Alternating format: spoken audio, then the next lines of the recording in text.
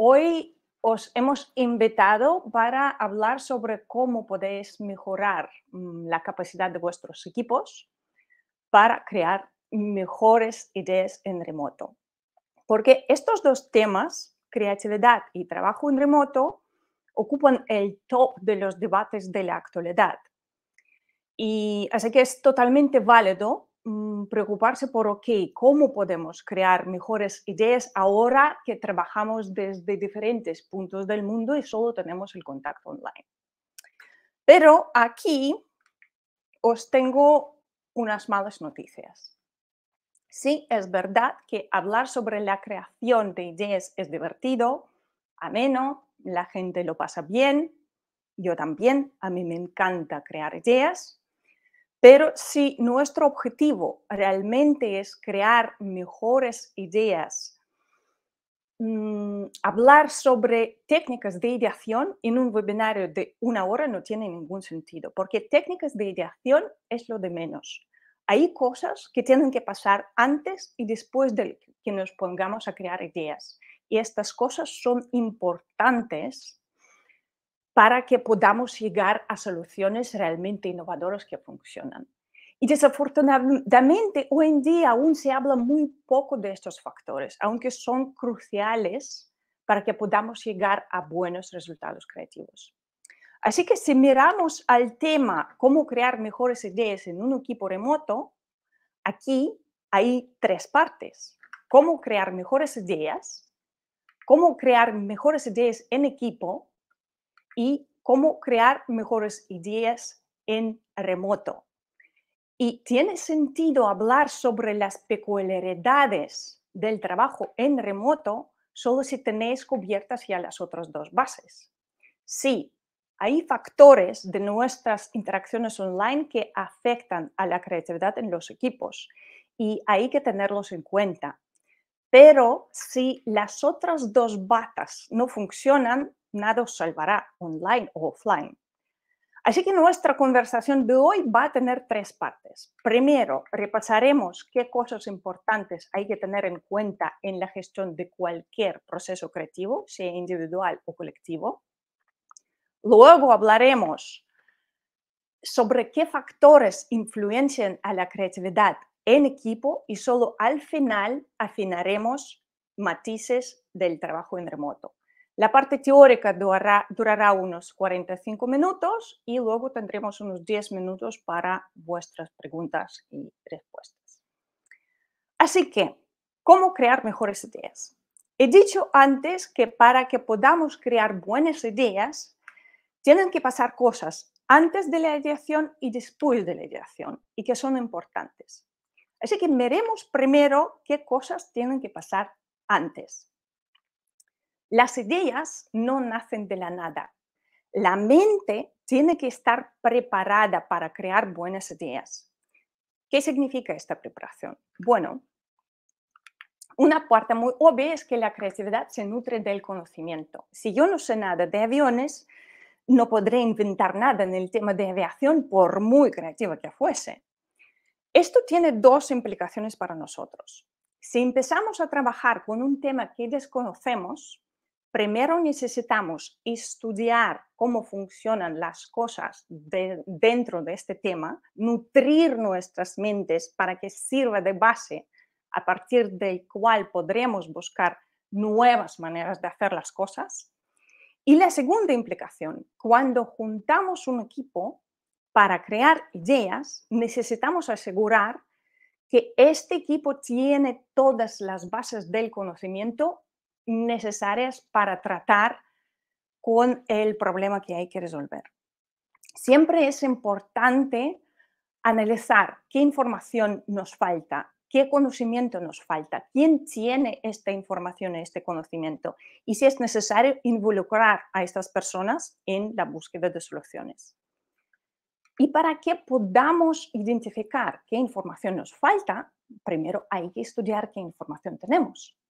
Aquí ya no se trata del conocimiento, sino de explorar la situación con que trabajamos desde diferentes puntos de vista. Todas las herramientas del user o customer research, mapas de empatía, ah, user journey o analizar los pain points del cliente, todo esto sirve para recoger los datos para, por un lado, definir el enfoque de la búsqueda de la solución y, por otro lado, dar a la mente estos ladrillos a partir de los cuales la mente va a crear ideas. Lo más importante en esta fase es de verdad tener la intención de mirar a la situación desde todas las perspectivas posibles. Aquí necesitamos emplear un arte de hacer preguntas. ¿Qué está pasando? ¿Quién está involucrado? Mm, ¿Qué exactamente ocurre? ¿Dónde? ¿Cuándo? Mm, ¿Por qué está pasando?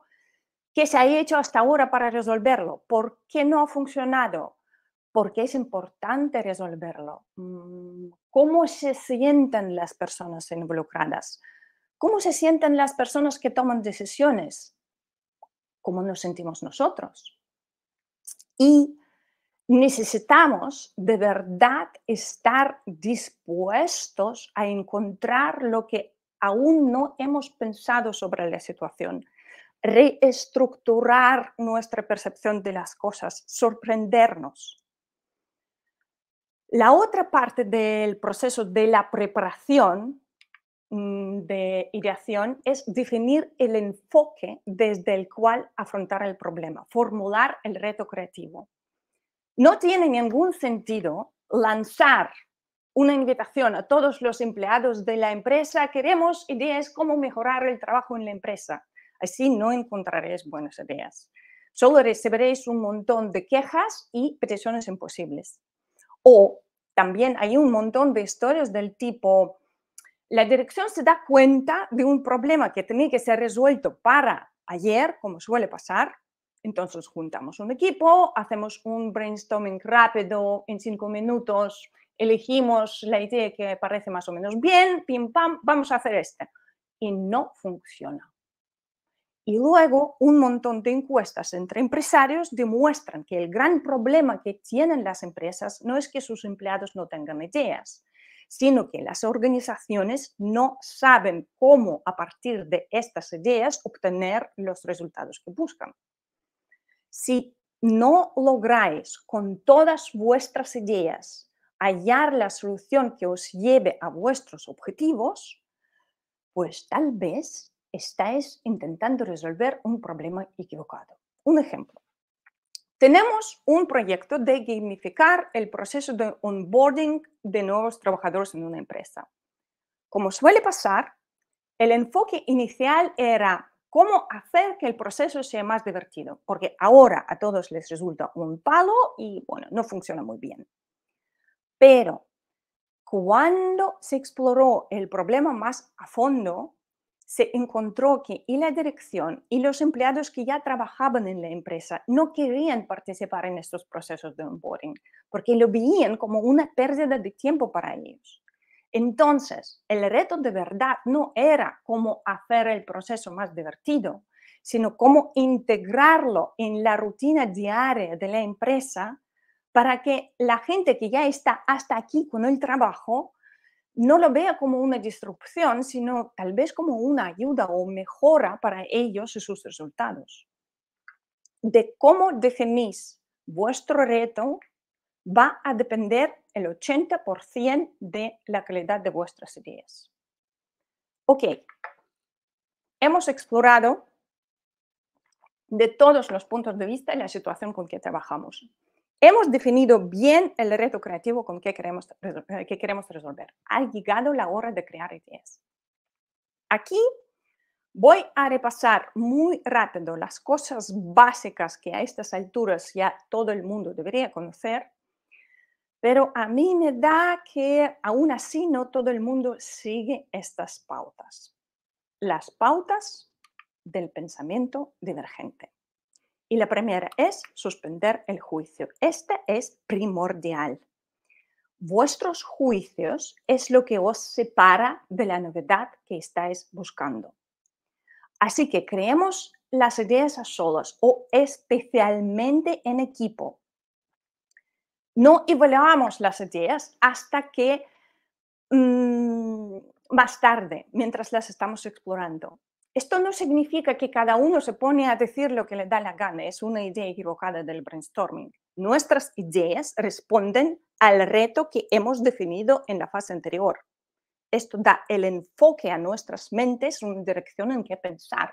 Pero una vez dada esta dirección, sí que se acepta cualquier cosa que viene a la mente de cada integrante del equipo. No se pone ningún juicio, no hay ninguna evaluación. La evaluación viene más tarde.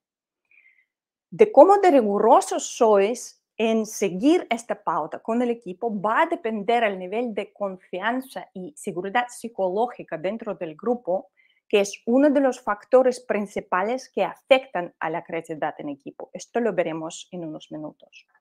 La siguiente pauta, buscar muchas ideas. Si estáis ideando en grupo, necesitáis como mínimo 100 ideas para encontrar una buena. Y con la suspensión del juicio es fácil. Apuntarlo todo.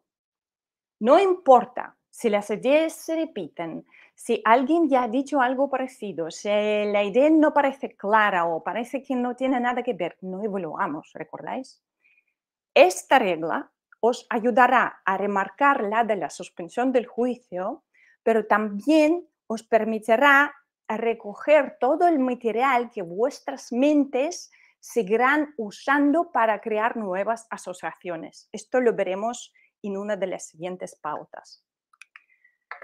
Divertíos.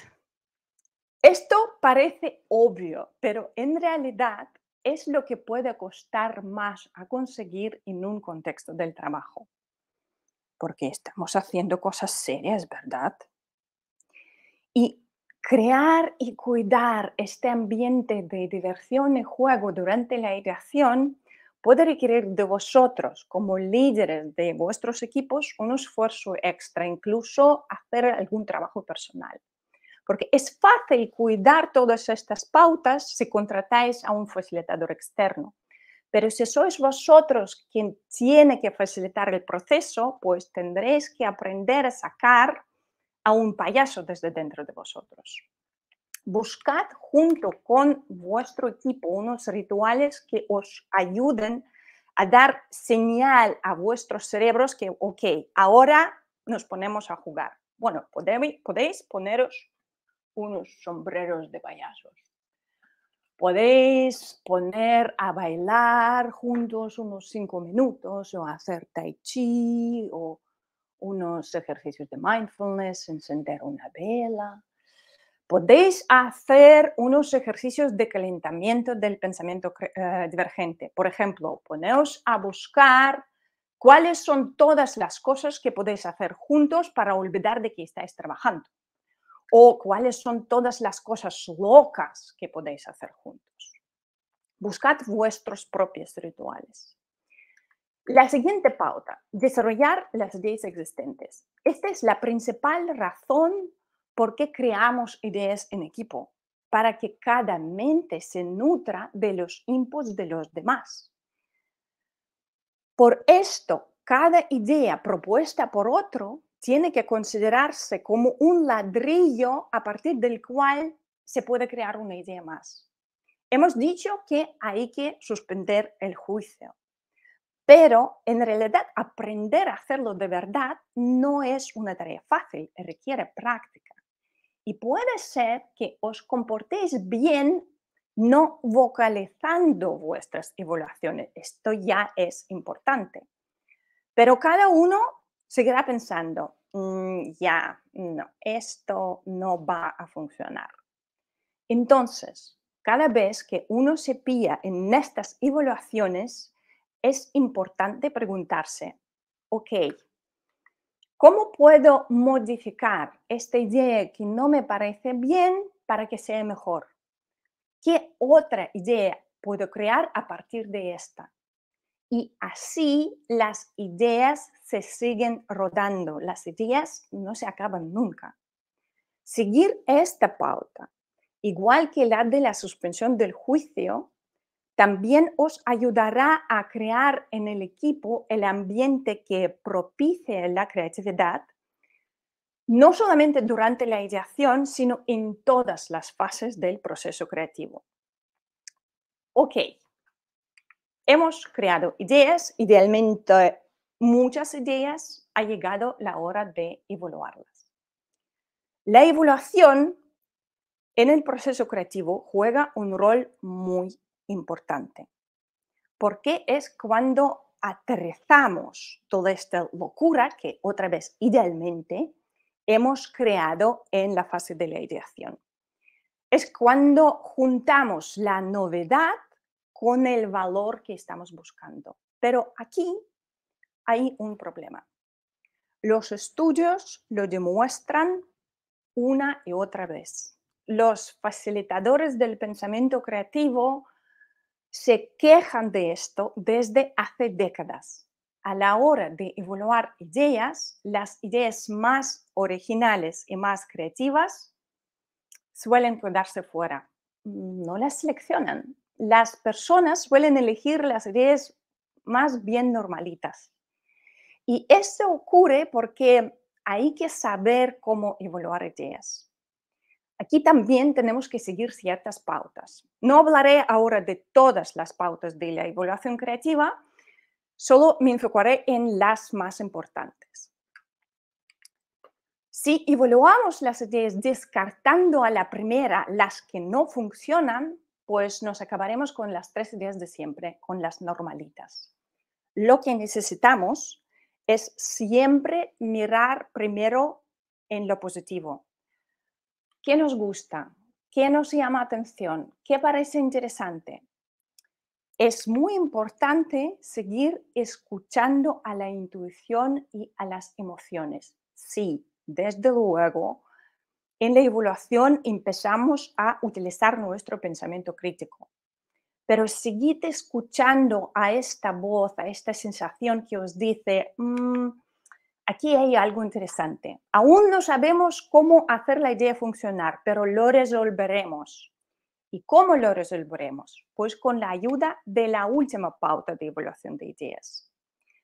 Cuando os encontráis con un obstáculo, cuando veis una pega en una idea, un pero, en lugar de decir, mm, esto aquí no funciona, preguntaos, ¿cómo podemos hacerlo funcionar? Y esta actitud es primordial para saber llegar a soluciones innovadoras porque las ideas prácticamente nunca nacen ya listas para la acción. Las ideas se transforman. Y esta transformación forma parte importante del proceso creativo. Os voy a dar unas pautas para la transformación de vuestras ideas. Primero, como no, hay que explorar todos los puntos positivos de vuestra idea si en primer lugar os ha parecido interesante, entonces hay algo en ella. ¿Qué es lo que os ha traído atención? ¿Qué la hace interesante? De ahí podemos extraer la esencia de la idea, aquel núcleo alrededor del cual se puede construir la solución. Y solo luego nos fijamos en qué potencialmente podría no funcionar. ¿Qué no nos queda claro? ¿Qué obstáculos pueden surgir? ¿Qué problemas vemos en la idea? Y entonces, para cada preocupación, formulamos un reto creativo. ¿Cómo podemos resolver la preocupación? ¿Cómo podemos hacer funcionar aquello que no funciona?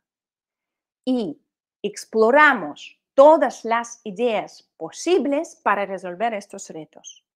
Y al final juntamos la esencia de la idea original con estas ideas que solucionan los obstáculos y de ahí sale una solución transformada que es más funcional, más desarrollada, pero que salvaguarda la esencia de la originalidad que nos atrajo al principio. Por ejemplo, el concepto de la economía circular nace de la idea de hacer que la basura y la naturaleza sean amigos. Imaginemos que somos una empresa de utilización de residuos industriales de hace 20 años. Nuestro modus operandi es recolectar los residuos de nuestros clientes y quemarlos. Y entonces, de repente, viene la conciencia de la sostenibilidad y todo el mundo empieza a decir, eh, lo que estáis haciendo no está bien, no nos gusta vuestro negocio. ¿Qué hacemos? ¿Cerramos el negocio?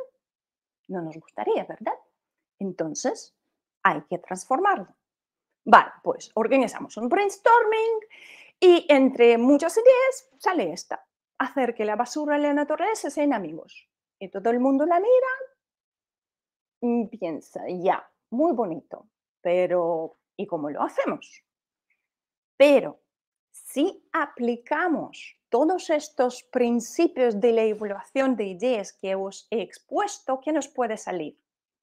Imaginemos que todos hemos pensado, hmm, aquí hay algo interesante, ¿cómo hacerlo funcionar? Entonces, si exploramos qué hay de bueno en esta idea, podremos identificar los siguientes puntos que forman su esencia. Si la basura y la naturaleza son amigos, entonces todo lo que pasa entre ellos es natural y bueno para los dos. En los procesos sostenibles, la naturaleza descompone la basura en partes y elementos y los resultados de esta descomposición se utilizan en la naturaleza para algo nuevo, para creación de nueva vida. Ok, todo esto es muy bonito, pero ¿cuál es el problema? Que actualmente la naturaleza y la basura son enemigos. Entonces, ¿cómo hacer que unos enemigos se hagan amigos? como se hace normalmente? Bueno, una posible estrategia es dividir sus territorios y hacer que los hábitos naturales de cada uno no se crucen. Tú no me toques, yo no te toco y todos felices.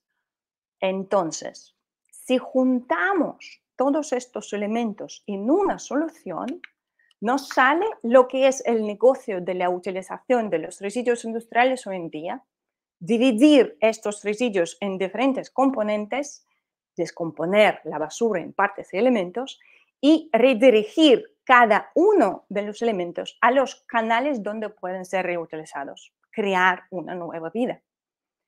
Pero para pasar de cómo era el negocio hace 20 años a cómo es ahora, alguien tenía que hacer este clic en la cabeza, cambiar la mentalidad de, no, esto no funciona, a cómo podemos hacerlo funcionar y transformar el pensamiento de la manera como lo he descrito.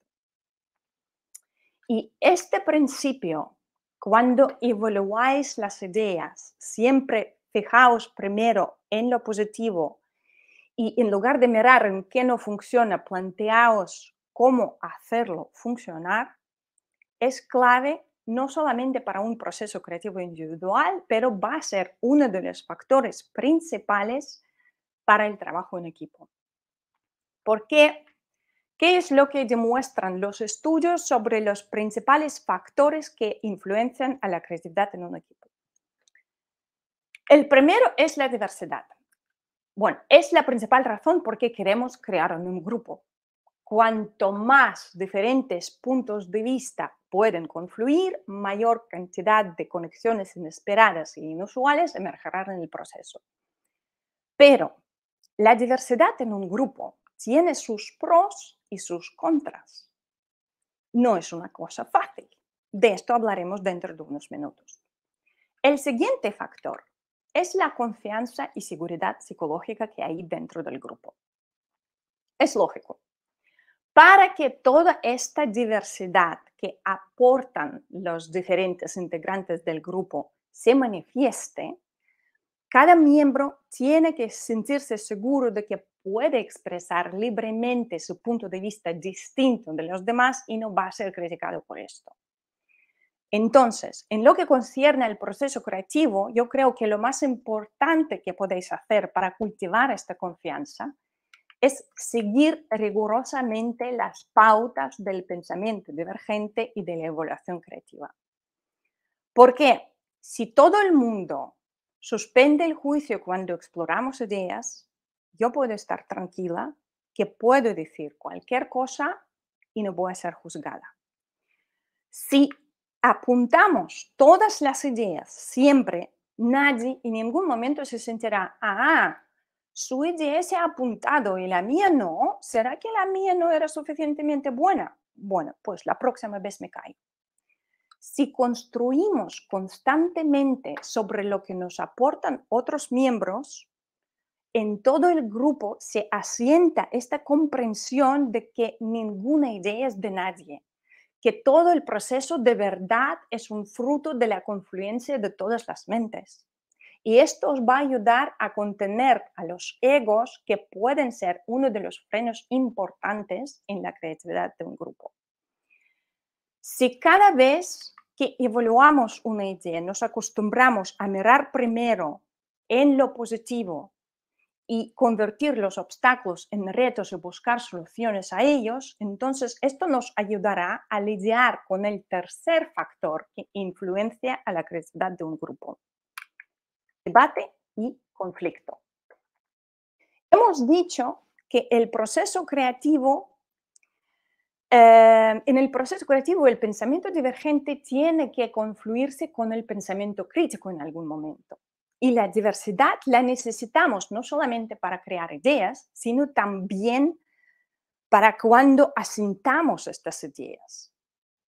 Porque de nada nos sirve si todo el mundo va a ser, ay, qué bonito todo, sí, muy bien, muy bien. No, aquí no hay ninguna innovación. Necesitamos un debate para que de él salgan mejores ideas. Pero cómo asegurar que este debate no se convierta en un conflicto. Porque el debate va bien para la creatividad, pero el conflicto lo frena. Pues acostumbraos de utilizar los principios de la transformación de ideas como un marco para dar feedback a los demás. Cuando aportáis cualquier retroalimentación a otras personas, siempre primero enfocaos en los puntos positivos y luego apuntar, en lugar de apuntar que no está bien, plantead retos, invitad a la gente a buscar soluciones. No digáis esto aquí no funciona, plantead, a ver, vamos a pensar cuáles son todas las maneras de hacerlo de otro modo para que en lugar de obtener los resultados que obtenemos, podamos llegar a donde queremos llegar. Y si todo vuestro equipo aprende a seguir estos principios en sus intercomunicaciones, os sorprenderá la creatividad a que podéis llegar. Yo recuerdo, hace unos 10 años más o menos, estuve en una charla que daba el presidente de KH Lloreda. Es una empresa de aquí de Barcelona que produce productos detergentes domésticos, como quita grasas, quita manchas, estas cosas. En aquel entonces, España estaba en plena crisis, la economía hundida totalmente. Y el señor Lloreda empieza su presentación diciendo, desde que empezó la crisis, nosotros no paramos de crecer. En aquel entonces, ellos ya tenían toda su producción totalmente automatizada. La mano humana no tocaba nada. Y a lo largo de toda la presentación, mientras él contaba sobre diversos proyectos que habían implementado en los últimos años, se repetía el mismo patrón. Él decía, bueno, esto al principio nos tenía que costar tanto, pero lo logramos reducir y ahí las cifras variaban. Por la mitad, tantas veces, a cero. ¿Y cómo lo lograban? Pues ellos tienen entrenados a absolutamente todos empleados de la empresa en las metodologías del pensamiento creativo y tienen la solución creativa de problemas integrada de una manera sistémica en todas sus rutinas diarias, en todos sus procesos de trabajos. Y cuando todos los integrantes de la empresa están acostumbrados frente a un obstáculo, plantearse, ok, ¿cómo lo resolvemos? Pues saben hacer que un proyecto que al principio tiene que costar millones, no les cueste nada. Ok, hablemos ahora más a fondo sobre la diversidad. Porque sí, puede aportar mucha creatividad, pero también puede causar muchos conflictos. ¿Por qué?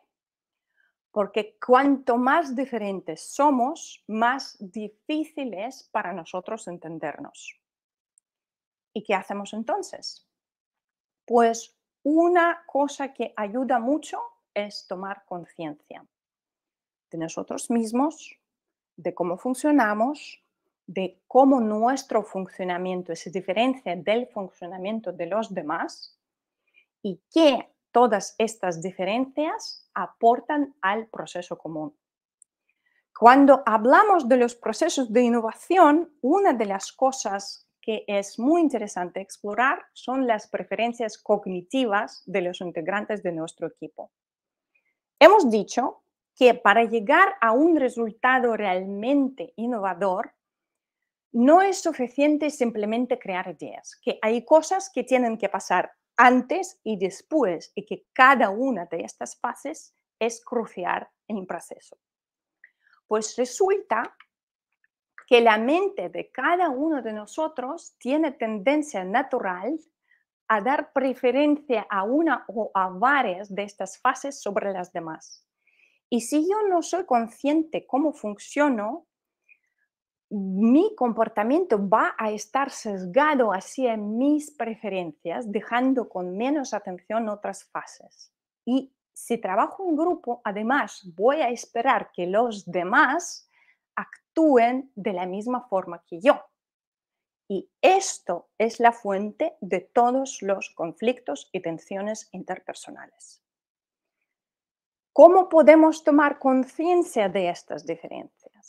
Pues os puedo recomendar dos herramientas que, aunque diferentes, en realidad son bastante parecidas, así que podéis elegir cualquiera de las dos porque las dos beben de la misma fuente que es el modelo de solución creativa de problemas. Una herramienta se llama Foresight, otra Basador Profile. Son los test psicométricos que ayudan a identificar las preferencias naturales de cada integrante del equipo y además a sacar el perfil global del equipo como un conjunto. Y esto os puede aportar dos cosas. Primero, ayudará a los miembros a darse cuenta qué aporta cada uno al proceso dónde están sus puntos fuertes y sus puntos débiles. Y también el equipo podrá ver de antemano los orígenes de posibles conflictos y buscar soluciones para contenerlos. También lo que podrá ver el equipo son los puntos ciegos que pueden tener como grupo. Porque una cosa es un equipo que crea ideas y pasa rápidamente a la acción, que esto puede parecer muy resolutivo, pero muchas veces sin una investigación, preparación y desarrollo debidos, estas soluciones no van a ser muy sostenibles. Otra historia muy diferente es un equipo en que los miembros dedican tiempo a encajar todos los detalles a la perfección, sus resultados pueden ser muy robustos, pero tal vez poco innovadores. Y también pueden perder mucho tiempo en el proceso, no van a ser muy rápidos. Y ya que hablamos de la diversidad, veamos ahora qué ocurre con ella cuando pasamos el trabajo en remoto. Porque según lo que indican los estudios, parece que es lo primero que sufre. ¿Os acordáis que ya hace años en las conversaciones sobre qué factores ayudan a convertir una organización en una incubadora de soluciones innovadoras, todos coinciden en una cosa. Lo más importante es potenciar las interacciones aleatorias entre la gente. Que las personas cuyos trabajos no tienen una relación directa se encuentren de una manera espontánea en la cantina, en tomando un café, en la mesa de ping-pong, en un jardín corporativo. Esto ayuda a que la información dentro de la empresa fluya de una manera más libre, lo que aumenta la diversidad de los inputs que recibe cada persona y por lo tanto facilita la creación de unas conexiones inesperadas. Todo esto se pierde en gran medida con el trabajo remoto. Y las personas se encuentran dentro de una especie de burbujas formadas por sus contactos directos. Esto disminuye el intercambio de la información, se crean menos conexiones aleatorias y por lo tanto la creatividad se encuentra en detrimento. Lo que significa que necesitáis buscar estas interacciones aleatorias de una manera deliberada. Organizad unas reuniones breves pero regulares entre los representantes de diferentes departamentos. Invitad a la gente de otros departamentos a vuestras reuniones. No sé, montad unas conferencias TED dentro de la empresa. Cread unos chats interfuncionales esto es justamente el ejemplo de un obstáculo que requiere que nos planteemos un reto y apliquemos nuestro pensamiento creativo para resolverlo. Lo que hablaba, de lo que hablaba antes. En lugar de ponernos, ah, esto no funciona, planteémonos cómo podemos hacerlo funcionar. Otra faceta de nuestras comunicaciones interpersonales que sufre en la vida virtual es la autenticidad. Ok, no es que antes éramos muy auténticos en nuestra vida corporativa. Sin embargo, en un contacto personal hay muchos detalles que yo percibo de una forma subliminal, intonación, expresiones faciales, los gestos que me aportan mucha información no directa sobre qué realmente me comunica el otro. Y esto permite que se establezca confianza o no y todos sabemos cómo de desvirtuada es muchas veces nuestra presentación en el mundo online. Y si yo sé que yo muestro una cosa sobre mí, pero mi realidad es otra, por supuesto yo sospecho que los demás hacen lo mismo. ¿Y de qué confianza podemos hablar entonces? Y si no hay confianza, no hay creatividad. Así que olvidaos de los fondos virtuales. Olvidaos de las paredes blancas. Mostrad a vuestros compañeros vuestros entornos reales en que trabajáis. Y esto también puede incentivar a cada uno a cuidar un poco más su entorno del trabajo. Y esto es muy importante para la creatividad individual de cada uno. ¿Qué más sabemos sobre cómo trabajo online afecta a la creatividad? No hace mucho se leyó un estudio que creó mucha repercusión y que demostraba que las reuniones en Zoom afectan negativamente a la creatividad. ¿Por qué? Nos hace fijar la vista demasiado sobre la pantalla. Y esto activa las redes neuronales que no son muy favorecedoras para el pensamiento divergente. ¿Qué podemos hacer? Pues pensemos cómo organizamos nuestras actividades. Todo lo que yo he dicho sobre buscar rituales juntos dentro del grupo que os ayuden a crear el ambiente del juego y de diversión, todo esto aplica aquí también. Poneos a bailar de vez en cuando. Haced algunos ejercicios juntos delante de las pantallas que os ayuden a mover la energía. ¿Sabéis? El plan Tony Robbins. Sí, sí, podemos. Haced a la gente mirar alrededor, a dar unos paseos por sus espacios de vez en cuando, que esto también ayuda a crear conexiones inesperadas. Salgamos del Zoom. Supongo que muchos de vosotros conocéis diferentes plataformas que hoy en día crecen como setas para facilitación de colaboraciones creativas online. Miro, Mural, StormZ. Cuanto más colorido y visual podemos hacer nuestro espacio virtual del trabajo, mejor. También aprovechemos las ventajas que nos aporta el trabajo en remoto, porque no todo es malo. El principal beneficio de nuestra vida online es que podemos traer juntos personas que están en diferentes partes del mundo. Esto es la diversidad. Juntar todas estas personas de manera presencial antes suponía mucho coste. Y entonces había que meter todo el proceso creativo dentro de un periodo del tiempo muy limitado para mm, acotar estos costes. Pero si nos ponemos a analizar qué es lo que realmente pasa en estos talleres del pensamiento innovador presenciales, veremos que en una jornada de ocho horas se dedica a pensar, pensar máximo un par, porque es que las mentes no dan para más. Todo el demás tiempo son esto, las actividades para mover las energías ahora que podemos conectar a todas estas personas en un clic, no todas las partes del proceso creativo grupal tienen que ser sincronizadas. Podéis juntaros solamente para los momentos cuando realmente necesitáis pensar juntos, pero luego seguir con el proceso de una forma sincronizada. Un brainstorming no debería durar más de una hora, máximo una hora y media. Es que si no, vuestros cerebros se van a freír.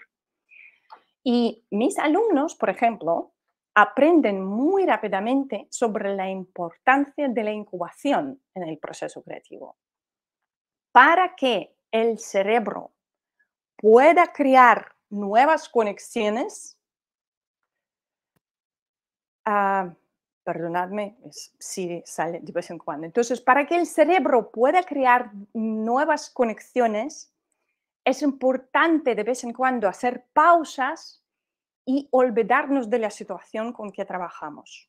Entonces, hacemos un brainstorming de una hora, luego cada uno va a hacer sus cosas y mientras tanto los cerebros, los cerebros seguirán mm, procesando la información, creando conexiones de vez en cuando aparecerán nuevas ideas, entonces la persona con la idea entra en el espacio virtual donde trabajáis con ideas, la apunta ahí y la próxima vez cuando os juntáis otra vez, repasáis todas las ideas nuevas que han aparecido durante la pausa y seguís con el proceso.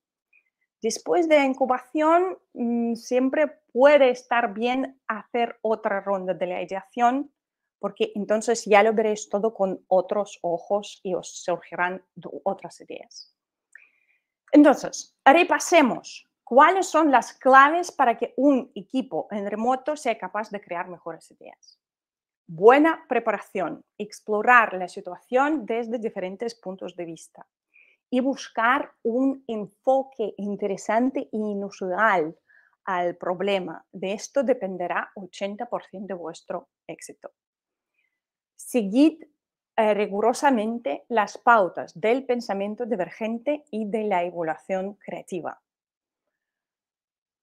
Recordad que las ideas nunca nacen ya listas como esto es la innovación del siglo. No, las ideas se transforman y más de una vez a lo largo de todo el proceso. Y para que podáis transformar vuestras ideas, Siempre necesitáis acostumbraros a mirar primero en lo positivo cuando evaluáis a una idea y convertir los obstáculos en retos. En lugar de decir esto no funciona, plantear cómo hacerlo funcionar. Tomad conciencia de vuestras diferencias. Esto ayudará a aprovechar al máximo a vuestra diversidad. Buscad las maneras deliberadas de cómo salir de las burbujas que nos crea el trabajo en remoto, potenciando el intercambio de la información por diferentes medios. Cuidad vuestra autenticidad y buscad cómo podéis combinar los modos sincronizados y asincronizados del trabajar para aprovechar al máximo lo mejor de ambos mundos, online y presencial. Y si seguís todas estas pautas, estoy segura que nuestro mundo poco a poco cada vez va a ser más creativo. Y ahora podemos pasar a vuestras preguntas. Ah, voy a mirar ahora al chat que tenemos por ahí.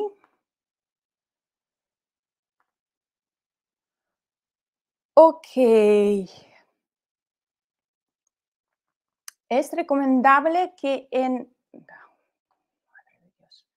Es recomendable que en esta confianza psicológica, quienes podrían estar presentes que no sean nuestros jefes. Muchas veces los jefes pueden mm, condicionar nuestra libertad de expresión o la de ver el problema. Bueno, para que esto no sea un problema, los primeros que tienen que aprender todas estas pautas que yo he presentado tienen que ser los jefes. Si los jefes no están dentro del juego, desde luego sí su presencia puede influenciar bastante a esta confianza psicológica, es verdad. Por esto yo estoy segura que mm, realmente asentamiento de esta cultura creativa dentro de la organización tiene que empezarse desde arriba, porque los líderes siempre tienen que dar el ejemplo en su comportamiento. Si no, esto no funciona. Si decimos que hay que seguir estas pautas, pero el jefe no da el feedback según las pautas que yo os he descrito, las cosas no van a funcionar.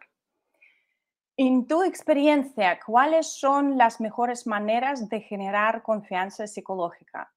A ver, ah, desde luego, aparte de lo que yo he hablado, hay otros factores que influencian a cómo nos, nos podemos entender, ¿vale? pero en mi experiencia, primero son esto, Dios, cuanto más conscientes son las personas de cómo funciona cada uno, en qué me diferencio de los demás y nos juntamos estas conciencias juntos y buscamos juntos que, vale, yo funciono así, tú funcionas así, cómo esto confluye en el proceso, cómo podemos hacerlo funcionar, esto es una cosa muy importante, por esto os he contado sobre estos test psicométricos. Y luego, en lo que me concierne a mí, a mí yo creo um, de una manera realmente firmemente mm, que seguir las pautas del pensamiento divergente y de la evaluación creativa, especialmente cómo dais el feedback, esto lo que también ayuda a fomentar esta confianza. Ah, hoy en día se trabaja más frecuentemente con equipos multiculturales. Esto representa un gran input, pero también un reto. ¿Alguna experiencia y consejos de lo que he hablado antes? Eh, aquí también, aparte de nuestras preferencias cognitivas, sí, estaría bien explorar juntos con el grupo, ¿ok?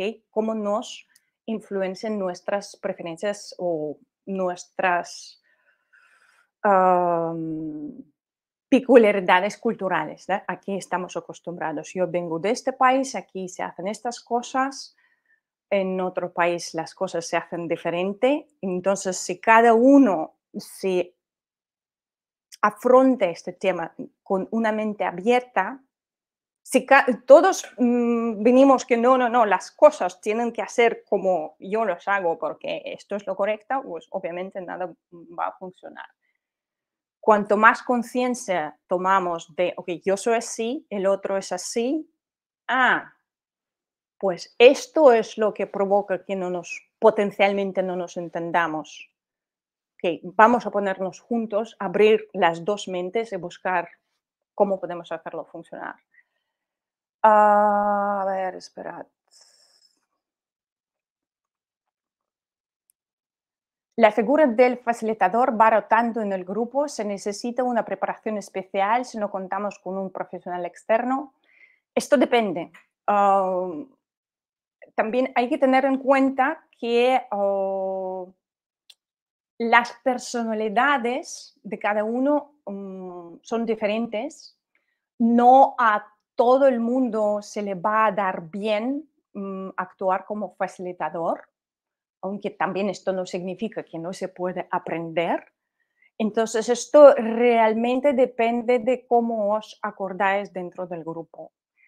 Yo um, sé que muchas veces se espera que um, el jefe va a ser el facilitador y los jefes tienen muchos problemas con esto porque aquí ya empiezan a entrar en el juego pero cómo afrontamos nuestros roles, cómo esto afecta, cómo asumimos nuestra autoridad tal. Por esto yo digo que esto requiere un trabajo personal.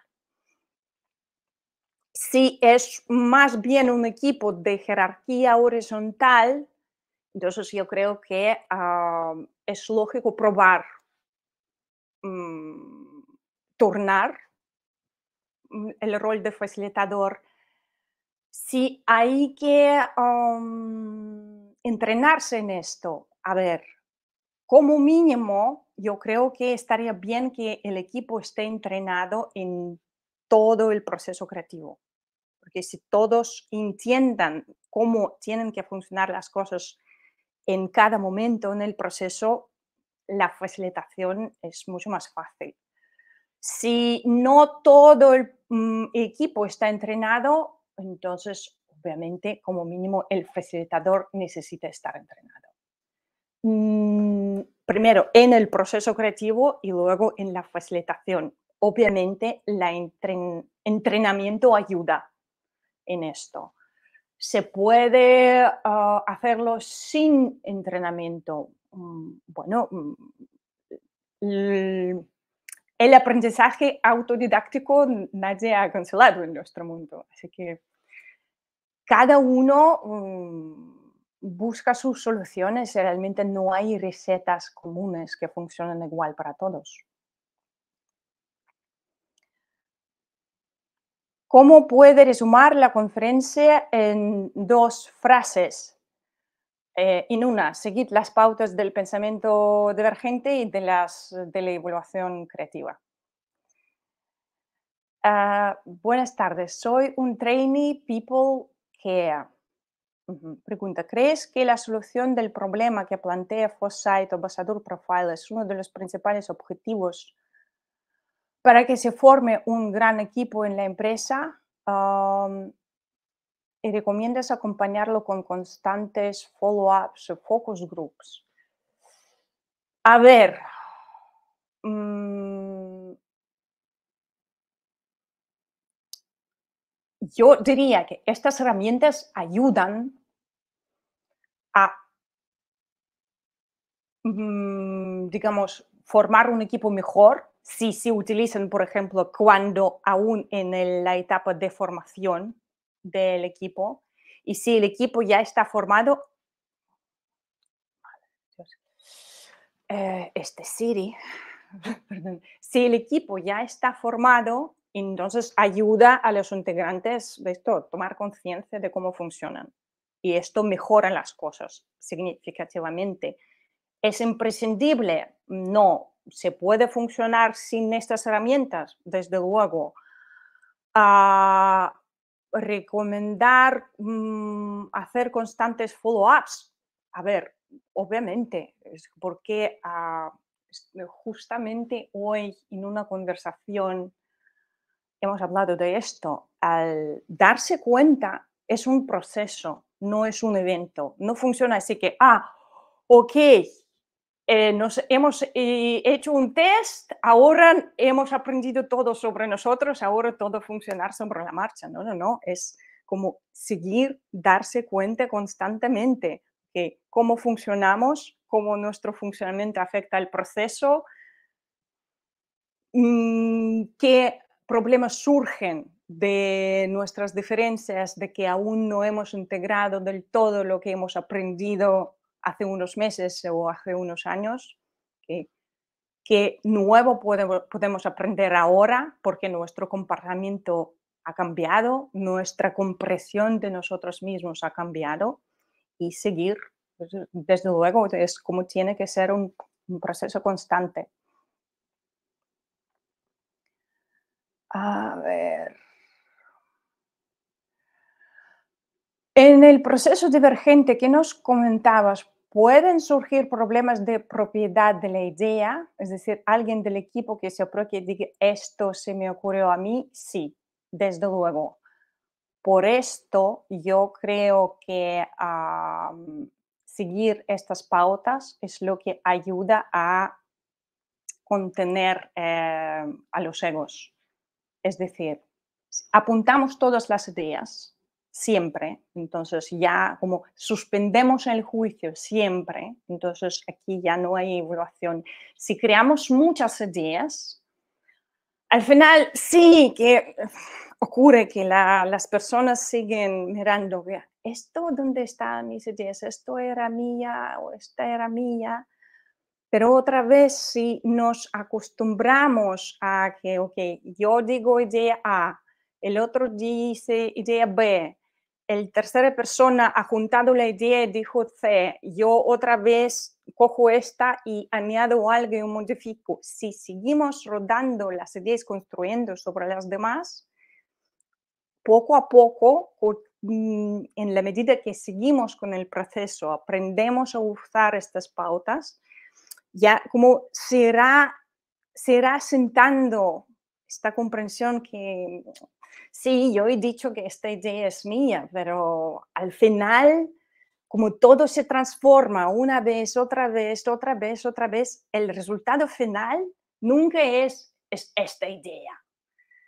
Entonces, como a reconocer los puntos positivos, a suspender el juicio mientras oh, exploramos ideas, todo esto ayuda a como a dar señal a nuestra amígdala que no tenemos que realmente tener, estar demostrando, no, yo soy lo mejor, yo he logrado esto. Es como nuestro sistema nervioso recibe este señal que, bueno, aquí todo está bien, podemos trabajar, y entonces ah, se surge menos esta necesidad de ver que es mi idea que ha sido elegida.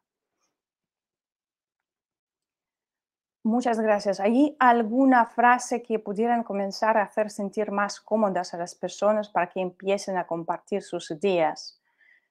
Le digo porque creo que a veces la personalidad de las personas no les ayuda. Desde luego, también hay que tener en cuenta que hay personas que funcionan, cuya creatividad funciona mucho mejor a solas que en grupo, como las personas más introvertidas.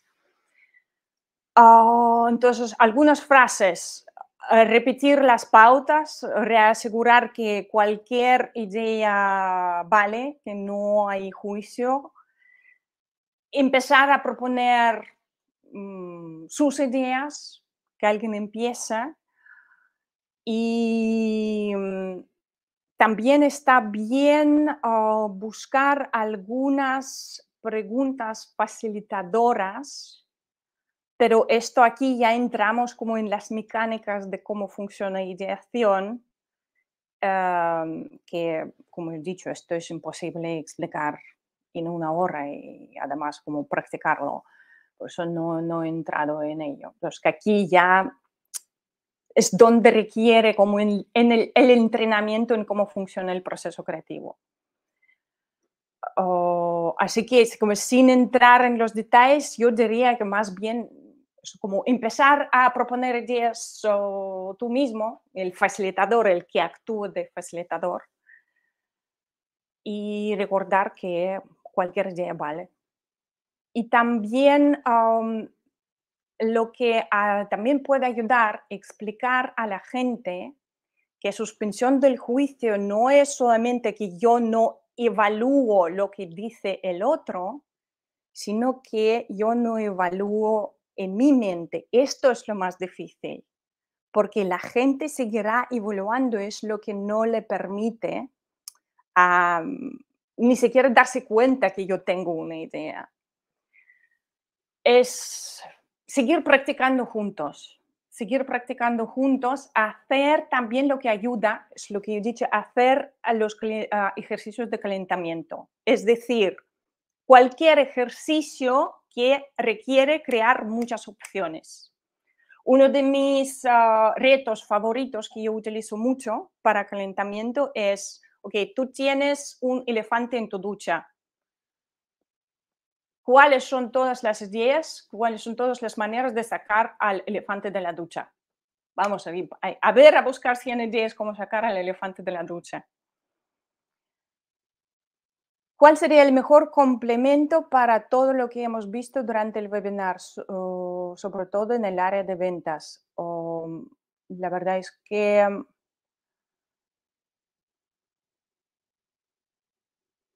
mm, no entiendo muy bien la pregunta.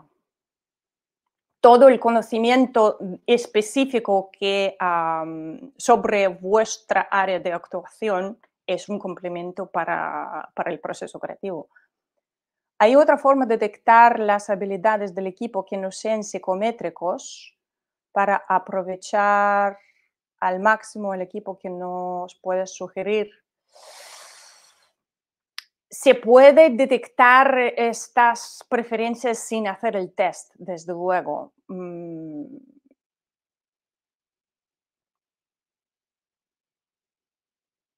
hacerse preguntas, observarse, que ah, cuando yo mm, estoy en el proceso creativo, ¿qué me suele pasar? ¿En qué fase yo me siento mejor? ¿Y qué fase siento, em, suelo omitir? Como si me gusta hacer muchas preguntas, investigar, o a la primera que surge una idea, yo inmediatamente tengo 10, ah, cuando surge un problema, yo tengo 10 días en la cabeza, o mm, es que no me gusta trabajar sobre una idea y sacar una solución perfecta, o siempre quiero estar en la acción, esto ya da pistas. Y luego observar, ok, yo funciono de esta manera, yo veo que el otro funciona de otra manera, qué este provoca en mí. Nos ayuda a colaborar o qué conflicto surge de ahí. Entonces es, mm, es difícil describirlo en una respuesta, en una frase, porque el proceso de darse cuenta es realmente un trabajo riguroso sobre uno mismo. Ok, pues yo creo que ah, ya hemos contestado a todas las preguntas.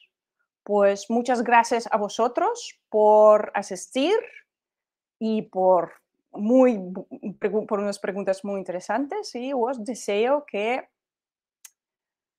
realmente ah, podáis ser más creativos con vuestros equipos. Hasta la próxima.